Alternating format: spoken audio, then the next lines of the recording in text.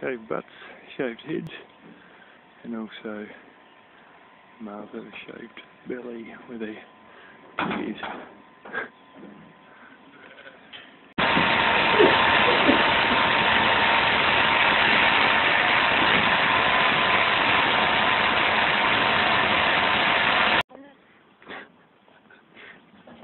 This one here, that's one of the friendly ones. A lamb of one of the that was more or less a pet. Ain't you, hey? Hey? Looks a bit dag. He said the ears are looking very old. It's because she's actually getting quite old. Very old. A bit sunburned or something. Ten years old and they drop dead. Isn't that right, honey? You got a snotty nose. That's no good. Honey?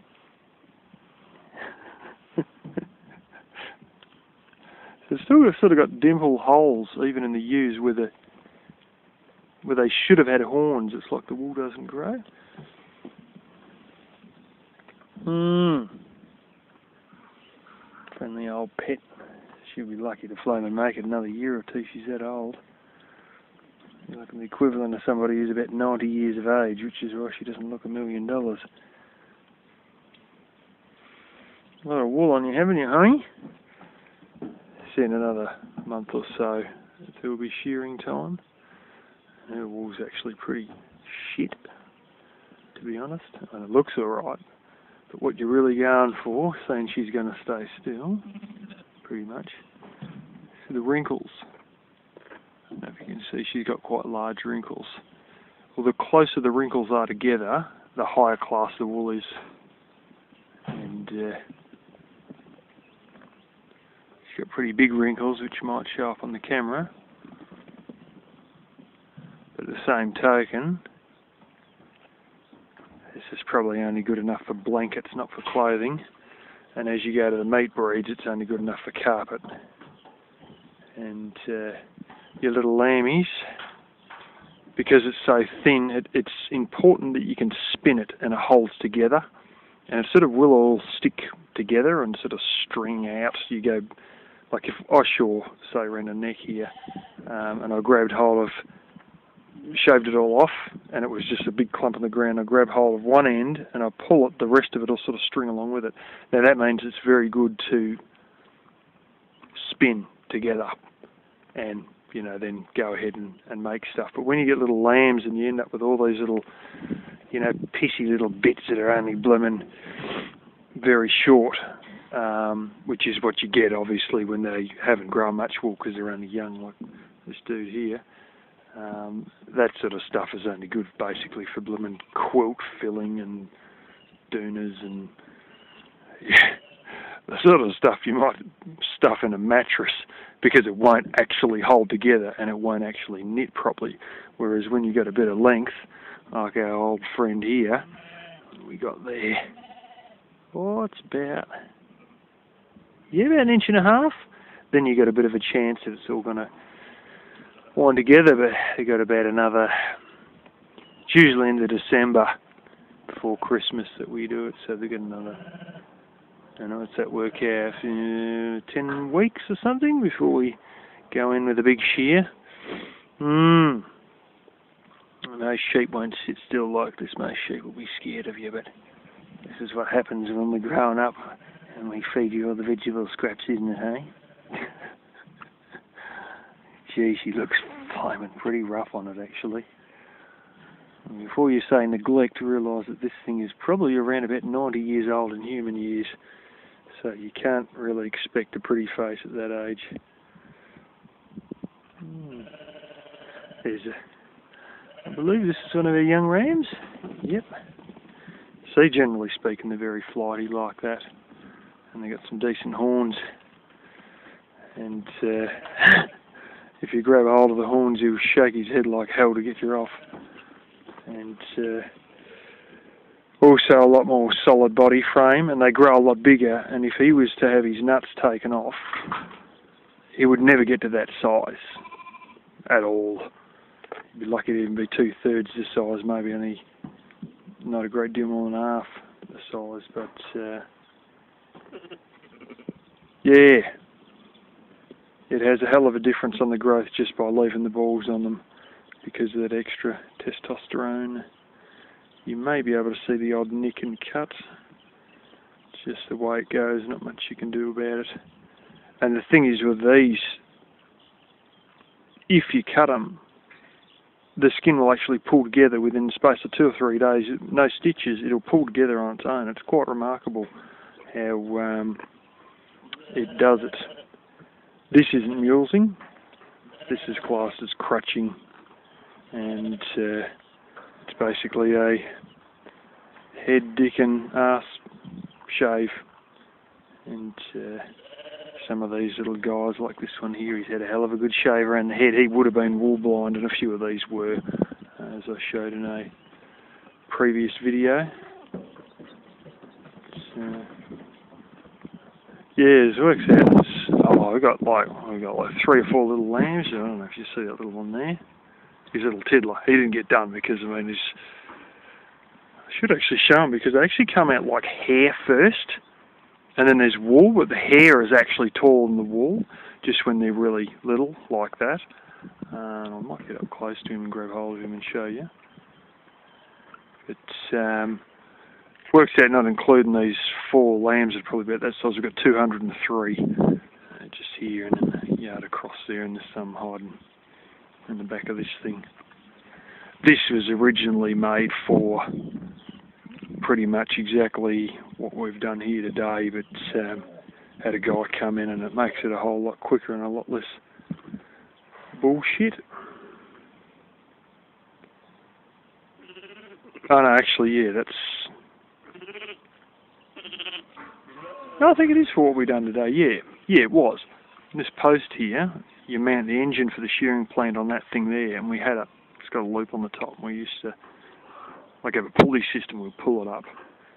Um, yeah, but uh, it's easier just to get somebody else to uh, rock up and do it flat out as opposed to us fumble around because the guy has been doing it for more than 20 years. He's a shearer, so. Hmm, so anyway, now everyone can see and they don't have dirty asses. You don't want to sell wool with dirty ass in the wool because it's then you're selling product that's like contaminated basically with shit. I have seen like some of these dirty asses, um, some of the real bad stuff that's just drowned in shit. I've seen it sold for as little as 20 cents a kilo, which works out 14 US cents for 2.2 pounds it's almost worthless. But when you look at it, if you were actually to compress it, you're selling it's more than 50% shit. and in some cases like that, it's actually better. That was sort of like some of the stuff my uncle sold and whatnot was like that. But uh, in those cases, in some cases, it's so much bullshit to sell it that it's easy just to throw it straight in the blasted bin. Um, but uh, we made an effort to pull out the worst of the shit, and it won't sell for a great deal because it's still, you know, contaminated with a fair bit of shit and piss residue and everything else. But uh, the stuff that come off the heads was surprisingly clean, so that's almost going to be top grade sort of stuff. But it's not really long necessarily because it's only where the wool starts to grow, so it grows a lot shorter. Um, I'm going to show you this little baby one over there. Okay. I've got to set it up in my legs here because if I put it on the ground it will kick like hell. See little bits of hair there and there. That's where the horns would have come out. They actually get little tufts of hair. Uh, this is a little female. The legs, there's a handful of merinos I've seen that actually got wool on the legs, but usually they've got hair. And uh, some breeds have a bit of hair, uh, a bit of wool on the legs um, below the knee, obviously. It's, uh, it's hard to see with a bit. It's a little bit of hair just there on the end of the wool. It's only really generally seen when they're quite young. Some are far, far, far worse than others. I've seen ones that look like a flaming small dog. There's so much hair you can't even see the wool. This one's actually pretty good. She's just got, uh, oh, there's a bit there. Yeah, I don't know if you can see that against my finger. Probably can't, but there's a bit of hair there. Now, right, buddy, hey? You're a picture of health, aren't you, hey? Except for a little bit of snot on your nose there. They're not completely brown eyed either. The young, it's sort of like a green, dark greenish sort of a thing. Mmm, a bit like me cats. Except you kick a lot more and you eat everything else, don't you? I meant the eye colour. Mm. Oh, yes, and to tell age, and I'm going to like this. It's got to do with the amount of teeth they have. And as I showed once before, no top teeth. No top teeth at all. Just bottom teeth. At your age, they're pretty sharp, aren't they? And they're pretty good. And they always get grass stain on the teeth. It's so weird.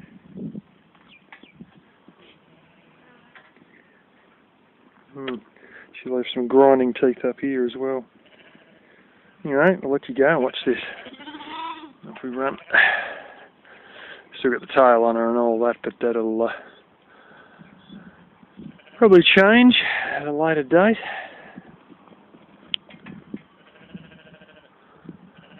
Anyway, I think I've explained quite a bit of stuff.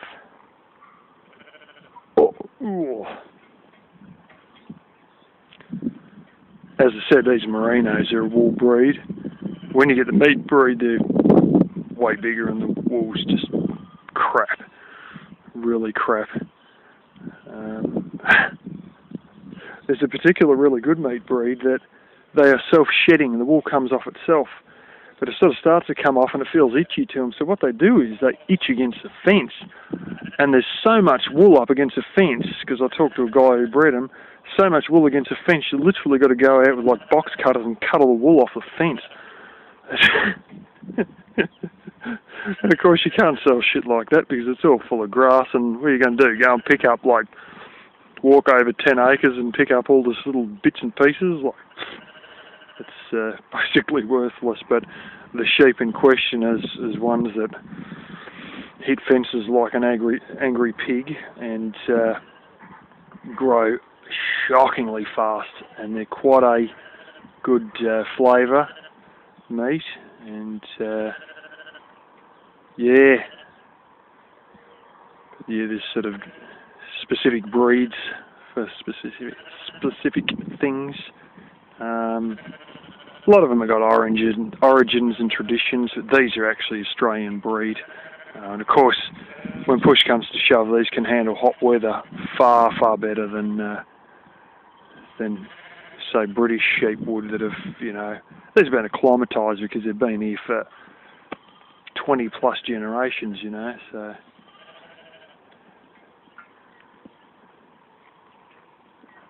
uh, actually probably more than that to come to think of it, but average sheep will reproduce at about two or three years old, times that by 200 years of being in Australia, and of course you get your own breeds that are completely acclimatised and uh, very good with set environment because those that aren't get bred out or just drop dead because they can't handle it.